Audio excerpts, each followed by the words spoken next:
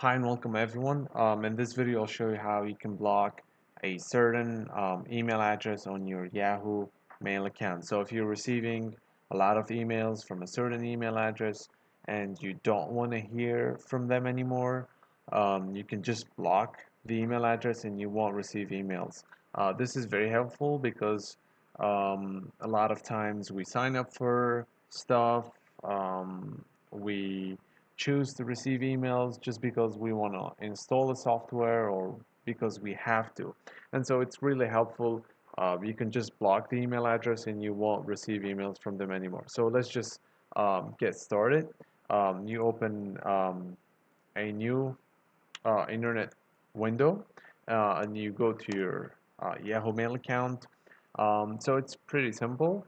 Um, there's a button at the top right uh, settings right here. You click it and then you go to uh, more settings. Now when you press on that this window appears. There's a lot of uh, settings. There's a lot of options stuff you can edit. Uh, but we're concerned with uh, this option right here security and privacy. So when you click it uh, this window appears. As you can see it says blocked addresses.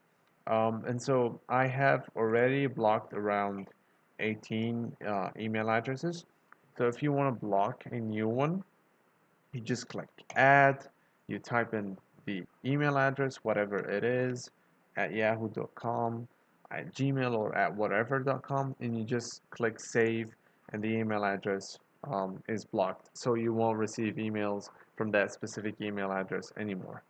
Uh, thanks for watching.